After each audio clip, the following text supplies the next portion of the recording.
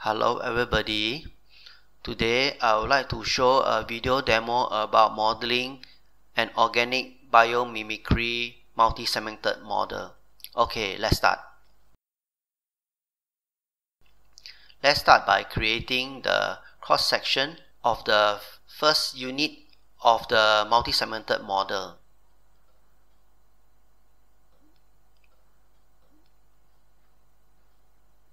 Let us do a bit of fine adjustment of the profile. What we're going to do next is actually to use the revolve command to create this uh, initial form.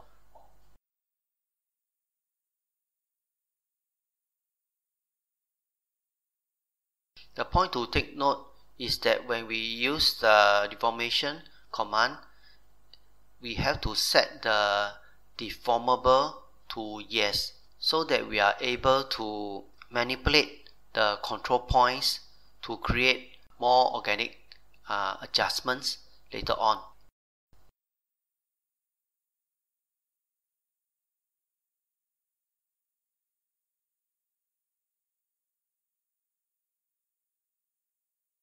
Okay, see, deformable set to yes.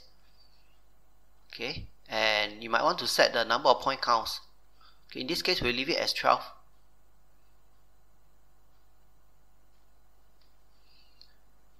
Set the revolution angle to 360 okay press enter. Yeah we got the first shape.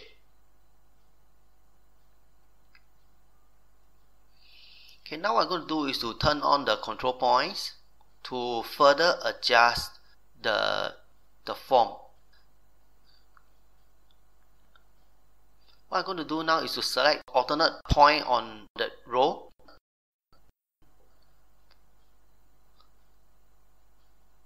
which I will later use the proportional scaling to modify the shape further. Okay, press and hold the shift key. Click the scaling widget on the gumball.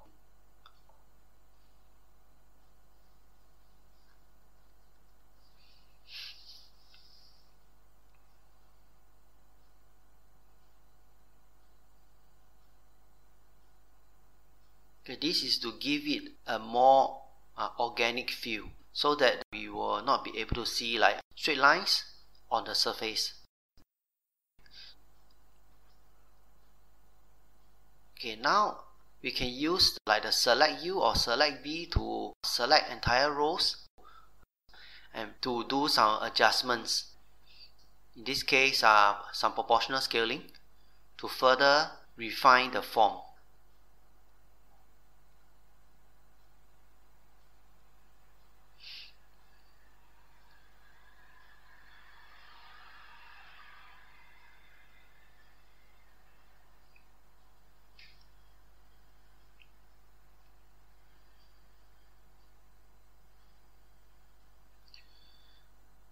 Okay next what I'm going to do is to create multiple copies of this uh, base unit. Okay I will use the linear array to do that.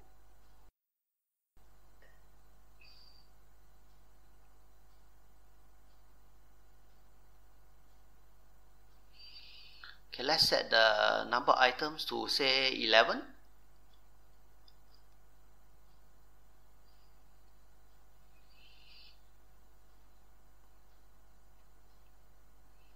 make sure that auto is turned on so that we can get uh, vertically aligned groups of uh, units.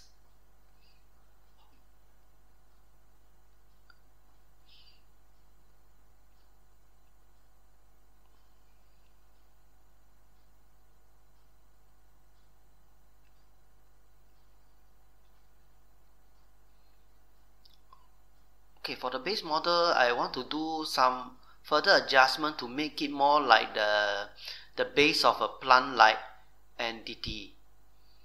Okay. So I'm going to do a bit of scaling to enlarge the base further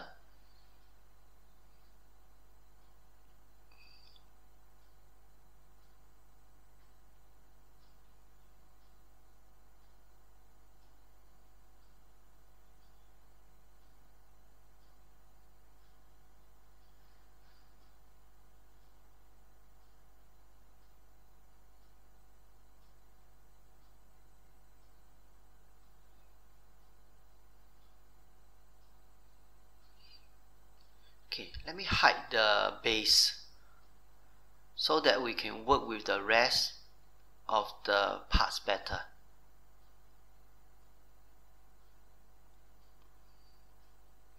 Now what I'm going to do is uh, merge all these parts together using boolean union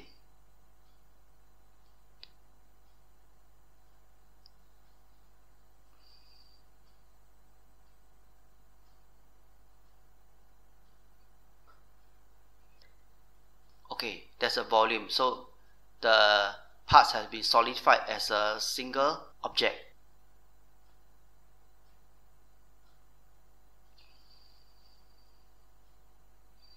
Now what I'm going to do is to use uh, the universal deformation tool. In this case uh, the cage edit set it to bounding box to create some further modification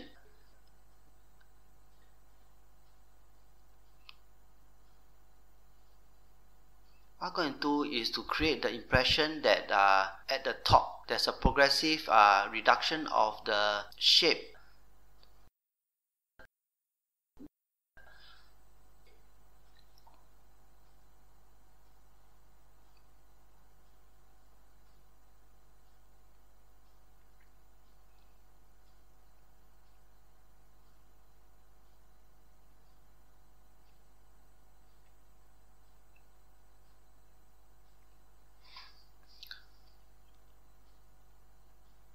okay we can use the scaling function to modify the the shapes at each section.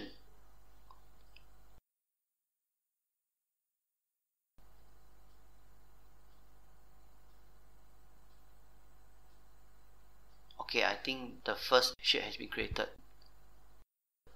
Okay. Now we're going to make this uh, even more organic by applying another cage edit. But in this case we use the line option to modify the flow.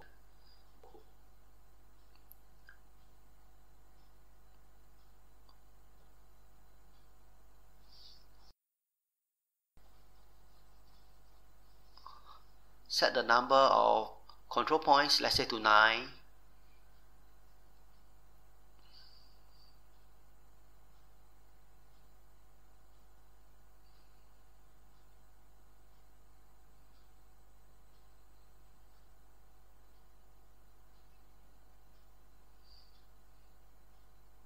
Let's turn on the control points for the deformation line.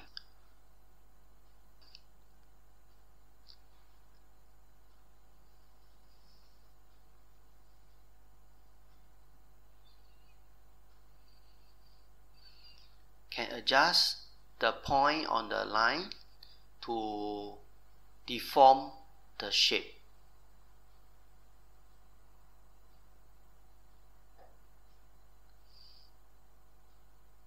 Depending on your computer uh, computational power the deformation might cause a lag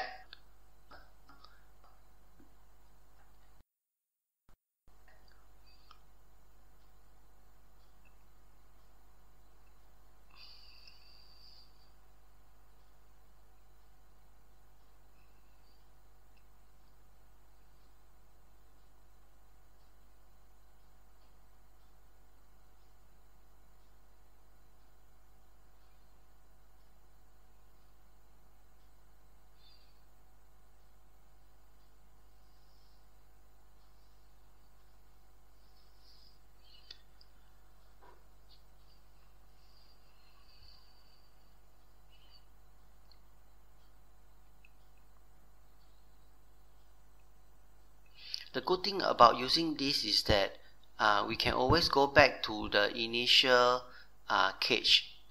Be it uh, bounding box or line to make further adjustment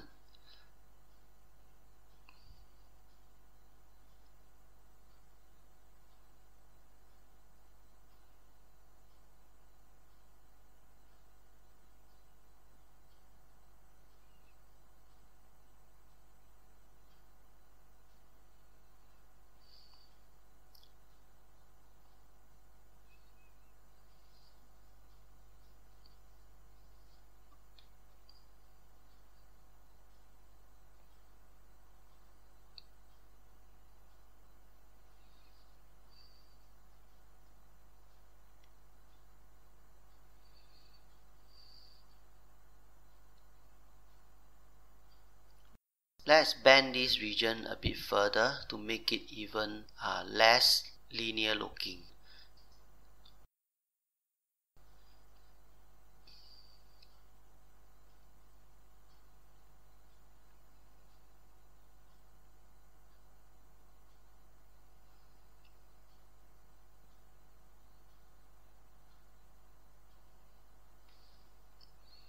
take a while.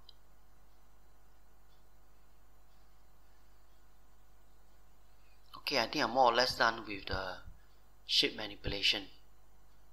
As you can see, we have created a somewhat organic looking object in a fairly short span of time using various uh, deformation techniques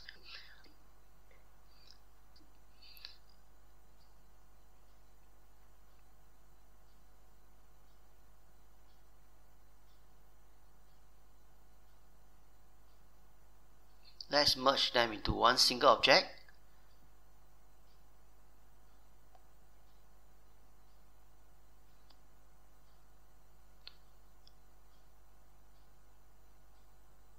Okay we got a volume. That's great. Okay. So this is the final shape. As you can see it didn't take much time to create something like that Okay, we have come to the end of this video demo. Hope that's been useful to you. See you around. Bye.